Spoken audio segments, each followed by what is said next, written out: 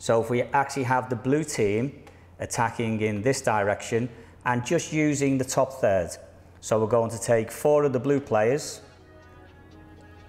for the part activity, playing against two defenders and a goalkeeper.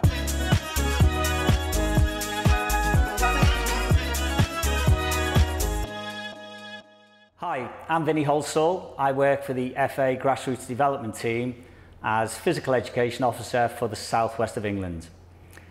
Today's session is called Fox in the Box Finishing and we're going to be working with a group of under 14 players uh, but this can apply to any age group certainly from the foundation phase through to the youth development phase.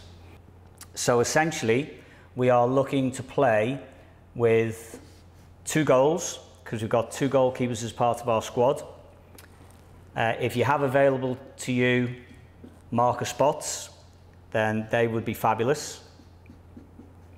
And essentially, we're going to arrange the pitch into thirds. So, in terms of looking at finishing on goal, it's important that we consider the six key capabilities. And particularly in here, we're definitely going to be looking at the technique, in terms of different ways to finish on goal. We're also going to be looking at movement to get into good positions whereby you can finish on goal. And in terms of setup, as I say, um, for this activity, typically you might have around about 14 players. Uh, formation isn't really that important, so I'm just popping on uh, my seven blue players, including a goalkeeper and we'll actually put them in possession of the ball there at the back third. And then coming out the other way is, we'll mix it up a little bit here. So essentially, in terms of good practice, if we consider that within a typical session, our youngsters have arrived, we've set up an arrival activity, and then this is our first main game activity. And ultimately, what we want them to do is to maneuver the ball obviously up the pitch so that we can actually create shots on goal and lots of finishing opportunities. In terms of the general layout then, so organising in thirds is encouraging the young players to actually work through the thirds in terms of in possession. And as we said earlier, the key capabilities that we really want to zone in on are the movement of the players so that they can get into good positions and then obviously practice their techniques of finishing on goal within the game context. One thing you can also consider as well is a varied score value for each of the goals. So for example, a normal goal can simply count as one. You could actually encourage them to finish with one touch, which could count as two.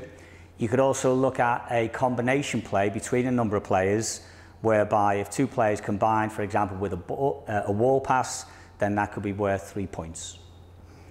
Okay, so in terms of our main layout, how can we actually adapt that into a part activity? So the part activity goes like this. So if we actually have the blue team attacking in this direction and just using the top third. So we're going to take four of the blue players for the part activity, playing against two defenders and a goalkeeper. Coming in the other direction, just bringing another ball in. So this time we're actually going to have four of our yellow players playing 4v2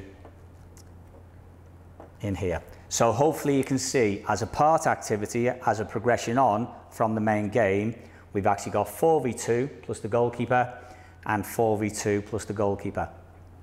As stated earlier, even with this 4v2 setup, it's still important that the, so here we've got our yellow four on the ball, it's still important that these other players demonstrate good movement. So for example, the number seven might actually move into the space here, but then position his or her body in a side-on position whereby should they receive the ball, they would then be able to finish on goal perhaps with one or two touches. So that technique of finishing on goal, which could be a slide finish, it could be a little dink over the goalkeeper, obviously that's where we can bring extra point values. So looking at the blue team here, obviously they are looking to create opportunities to finish on goal using those key capabilities of really good movement, good positioning as individual players, and that could be their orientation in terms of their body position, naturally getting side on, playing like a meerkat if you like, so they can see where the pressure is coming from. And obviously, so if in this situation here, we get a little bit of movement from our number two to receive the ball from four, then it may be certainly a one touch or a two touch finish. The one touch could be around the defender, uh, two touches could be just to create half a yard to finish on goal. In terms of realism, it's really important that we engage the goalkeeper and our two defenders for the three or four minutes that they're working within their repetition. So if the opposition do win the ball, so let's say that our goalkeeper makes a really good save, then as a three, they need to now play out from the back. And by playing out from the back, their challenge is, we could talk about creating space, their challenge is can they actually move the ball up the third, whereby they actually get the ball in control over the line. That would actually give the yellow team a point for scoring in effect, and therefore that's where our real element of competition, which is realistic, comes into play. As you can also see, a key element of our practice design here, as the blue team in this third are attacking, is that we've actually got four balls arranged safely around the outside of the playing area. So if this ball is now deemed as finished, then the blue team can actually go and engage with any ball that they want to, and essentially the first ball they get to. So the number seven here might actually go and collect this ball and restart with a throw in, but depending on age and stage, it may well be that adapting your session that you encourage this player here to have the option to put the ball at feet and actually play like a free kick or even travel in with the ball. But that's how you can adapt your session depending on the stage of your players and what they need.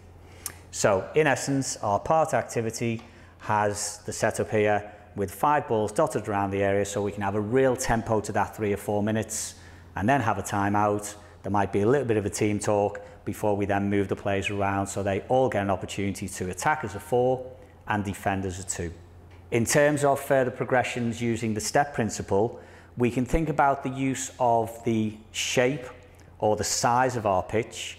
And if I just go initially with the shape of the pitch in terms of we could, when we go back into the whole game, actually create channels down the side of the pitch, again using our marker spots,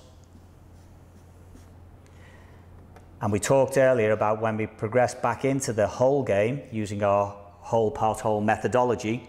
So if in this situation here, let's take this ball off the pitch, if the blue team are actually working their way up the pitch and the goalkeeper, it might be right from the goalkeeper, distributes with real quality out to number seven, these wide channels could actually become a free zone, perhaps just for five seconds, where the number seven has the opportunity to travel up the pitch, whereby they can't be tackled. Of course, they can be tracked, so the number two could track, but that'll encourage the number seven to actually, in terms of their awareness and their scanning, to get the head up and maybe look at a little bit of combination play in here, which could be one of our combination moves in terms of a, a wall pass, a one-two, to create an opportunity to finish on goal.